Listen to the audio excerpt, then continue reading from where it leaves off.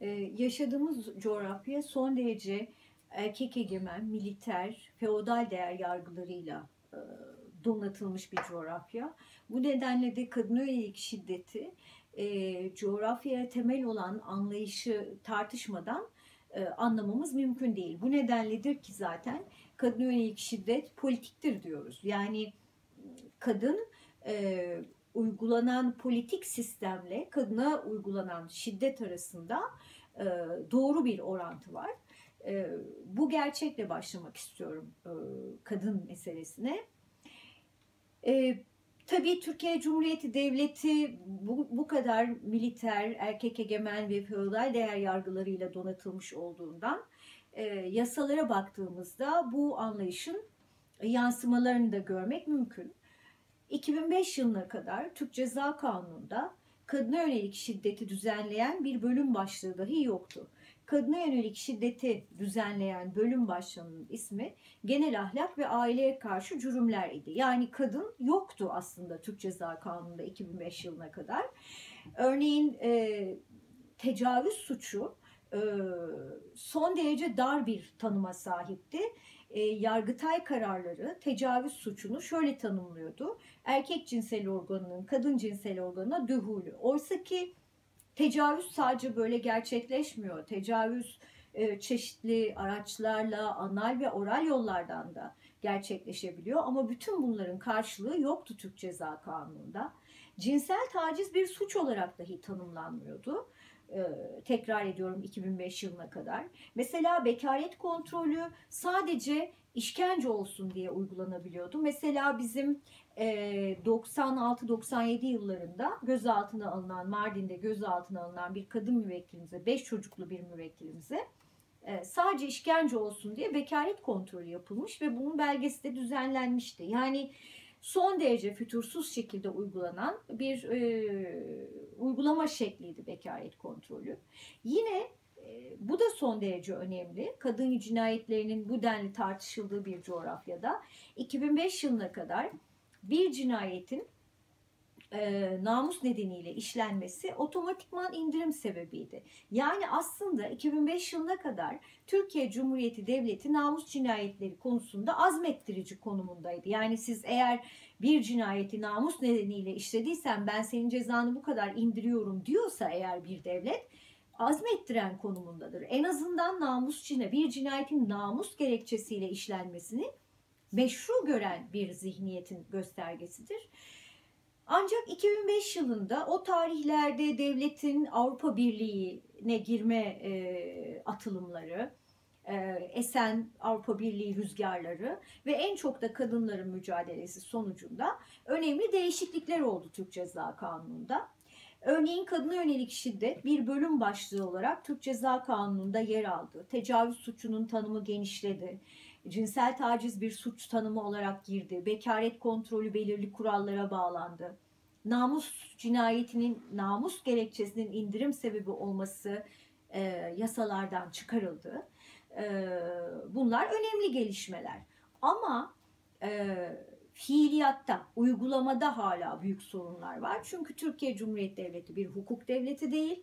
E, yasayla uygulama her zaman birbirinden farklı ve yargıya hakim olan görüş hala son derece feodal, militer ve erkek egemen bir e, bakış açısına sahip yargı mensupları. Şimdi e, esasında kadın yönelik şiddetle ilgili en önemli sorunlardan biri şu. E, şiddeti e, cinsel şiddeti özellikle e, belgelemek zor. Çünkü kadınlar yaşadıkları şiddeti, cinsel şiddeti çok geç açıklayabiliyorlar. Bir kadın tecavüze ya da cinsel tacize maruz kaldıysa çok çeşitli duygularla geç açıklayabiliyor, korkuyor, utanıyor, kirlenmişlik hissediyor. Çünkü onda yaratılan anlayış bu, ona dayatılan anlayış bu. Geç açıklıyor. Geç açıkladığı için de fiziksel raporun alınmasında bazı sorunlar yaşanıyor. Örneğin e, bir kadın eğer tecavüze maruz kaldıysa ve o kadın eğer bakire ise ilk 7 e, ile 10 gün içinde en geç fiziksel raporun alınması gerekiyor. Eğer gecikirse Himen'deki yırtık eski yırtık olarak geçiyor raporlara ve süreci belgelemek zor oluyor. Ancak kadının vücudunda DNA'ya yarar bulgular kaldıysa, e, kıl gibi, tırnak iz gibi, saç gibi, bunun gibi bir şeyler kaldıysa ve bunlar adli tıp incelemesine girebilirse bu ayrı tabii ki. Eğer kadın bakire değilse ilk 48 saat içinde fiziksel raporun alınması gerekiyor. O da hiç yıkanmamış olması gerekiyor kadının. Yani suç bulgularının hala vücutta kalmış olması gerekiyor. Bu süreler geçtikten sonra ki çoğunlukla kadınlar bu süre geçtikten sonra açıklıyorlar. Fiziksel rapor almak çok güç. Ancak psikolojik raporla bir kadının cinsel şiddete maruz kalıp kalmadığını ispatlayabiliyorsunuz. Bunu da verebilecek e, merkez sayısı az.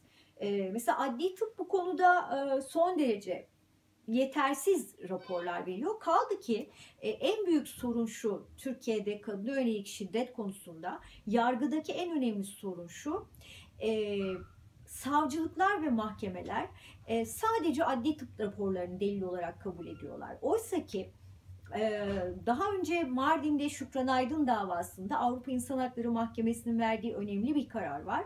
Bu kararda Avrupa İnsan Hakları Mahkemesi bağımsız hekim raporlarının da delil olarak kabul edilmesi gerektiğini Türkiye'ye söyledi. Türkiye'yi mahkum etti. Ama Türkiye'de maalesef böyle bir yasal zorunluluk olmamasına rağmen hala e, savcılıklar ve mahkemeler adli tıp raporlarını delil kabul ediyorlar. Oysa ki adli tıp bir resmi bir kişilik kurumu, bir devlet kurumu, siyasi iradeye bağımlı, işkencenin ya da cinsel işkencenin belgelenmesinde adli tıbbın tek geçerli kurum olması son derece büyük bir sorun. Bu sorun hala devam etmekte. Ee, Şimdi tü, tabii ki Türkiye Cumhuriyeti Devleti önemli uluslararası sözleşmelere de imza attı kadınlar konusunda. Kadınla erkek arasındaki ayrımcılığı gidermek konusunda. Örneğin kadınlara karşı her türlü ayrımcılığın önlenmesi sözleşmesi, Birleşmiş Milletler Sözleşmesi. Bunun altında Türkiye Cumhuriyeti Devleti'nin imzası var. Bu sözleşme tüm imzacı devletlere kadınla erkek arasındaki her alanda yaşanan ayrımcılığı ortadan kaldıracaksın diyor. Bunu görev olarak yüklüyor. En önemli sözleşme ise Avrupa Konseyi İstanbul Sözleşmesi. Bu sözleşme bir Avrupa Konseyi Sözleşmesi İstanbul'da imzaya açıldığı için ismi İstanbul Sözleşmesi. Aslında kadına yönelik şiddet, kadın erkek eşitsizliği gibi toplumsal cinsiyetçi bakış açısı gibi konularda en önemli sözleşme. Bu bir kadın mücadelesi ve kadın dayanışmasının ürettiği bir sözleşme. Bu sözleşmenin bana göre en önemli maddesi şu. İmzacı devletlere diyor ki hiçbir ahlak, namus anlayışını, hiçbir örf ve adeti şiddetin gerekçesi yapamazsın. Bunu kabul edemezsin ve bunu ortadan kaldırmakla görevlisin diyor. Ama Türkiye Cumhuriyeti Devleti'nin uygulamalarına baktığımızda bunun hala çok uzağında olduğumuzu görüyoruz. Kaldı ki e, şu anda iktidar e, Avrupa Sözleşmesi'ndeki imzasını geri çekmek istiyor. Ama kadınların mücadeleleri ve toplu bir karşı çıkış nedeniyle şu anda bunu gerçekleştiremedi. Ama en yakın zamanda kendilerine en uygun gördükleri zamanda isterler ki bu sözleşmeden imzalarını çeksinler. Ama e, coğrafyamızda gerçekten etkili bir kadın mücadelesi var. E, bu önemli. Ancak burada şuna da değinmek istiyorum. Şimdi bizde gerçekten etkili bir kadın mücadelesi var. Ama her alanda olduğu gibi e, kendilerini muhalefet içinde tanımlayanların da maalesef ki e, bazen ayrımcı davrandıklarını görüyoruz. Yani e, batıda bir kadın şiddete uğradığında karşı çıkıştaki seslerin yoğunluğuyla Kürdistan'da bir kadın şiddete uğradığında çıkan seslerin yoğunluğu maalesef aynı olmuyor. Bu sorunu da dile getirmek gerekiyor. Çünkü e, örneğin İstanbul'da, Ankara'da bir kadın şiddete uğradığında herkes ayağa kalkıyor. Diyelim ki otobüste şort giydiği için bir kadına e, tacizde bulunan bir erkek olduğunda her coğrafyanın her tarafından kadınlar ayağa kalkıyorlar. Ama Örneğin Varto'da, örnek bunun gibi birçok örnek var ama Varto'da Ekim Van'ın vücudu çırılçıplak teşhir edildiğinde maalesef sadece Kürt kadınları karşı çıkıyorlar. İşte bunu ortadan kaldırmamız gerekiyor. Yani kadın mücadelesinin hakikaten e, gerçek anlamda rayına oturabilmesi için bu e, eşitsiz e, bakış açısında ortadan kaldırmak gerekiyor. Çünkü e, kadına yönelik şiddete ya da kadınla erkek arasındaki ezme ezilme ilişkisine karşı çıkmak sadece bu değil. Siz aynı zamanda e, ırkçılığa, militarizme, e, faşizme de karşı çıkmak zorundasınız. Çünkü bütün bütün bunlar belirliyor aslında kadın yönelik şiddetin artışını. Bugün kendi coğrafyamıza dönüp baktığımızda devletin şiddet dilini yoğunlaştırmasıyla birlikte kadın cinayetlerindeki artışı görüyoruz. O nedenle biz kadın yönelik şiddet politiktir diyoruz. Çünkü şiddet e, her alanda örgütleniyor. Bu coğrafyanın kadınlarının çok büyük bir bölümü kadın programları ve dizi izliyorlar. Erkeklerin çok büyük bir bölümü de futbol izliyorlar. Ee, gerçekliğimiz bu. Ve bütün bu alanlar şiddetin üretildiği alanlar. Futbolda kadın yönelik şiddet üretiliyor. Ee, taciz, e, kadına yönelik küfür, futbolda bu üretiliyor. Çoğunlukla bunu görüyoruz e, statlarda. Yine e, diziler ve kadın programlarında ailenin kutsallığı, erkeğin gücü hep bunlar e, öne çıkarılıyor. Bunlar örgütleniyor. O nedenle kadın yönelik şiddet politiktir diyoruz işte. Tekrar söylüyorum. Yani e, coğrafyada yaşanan, e, dayatılan politik anlayışla e, kadına yönelik şiddeti birbirinden ayrı düşünemeyiz.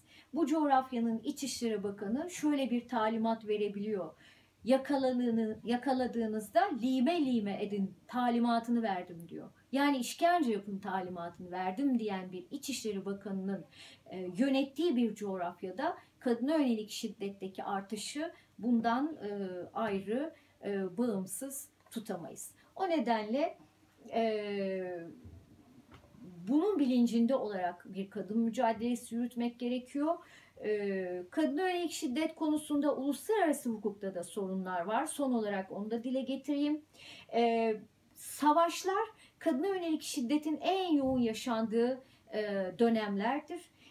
Örneğin Birinci ve İkinci Dünya Savaşlarında binlerce belki milyonlarca kadın şiddete uğramıştır, maruz kalmıştır.